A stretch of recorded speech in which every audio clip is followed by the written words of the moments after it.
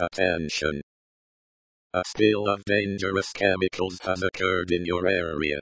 You should evacuate your home now, and make your way west quickly and calmly.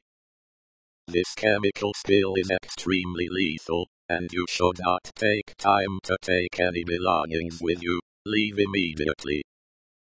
Cooperate with authorities, they will arrive soon to help coordinate this evacuation, and it will go faster if you do not hinder them. Please be aware that the composition of this chemical spill can cause unusually specific hallucinations. If you see anything in the sky while evacuating, please ignore it and continue your egress from the area. Thank you for your attention and cooperation. Savannah and Charleston Petrochemical Corporation. Building the future, molecule by molecule.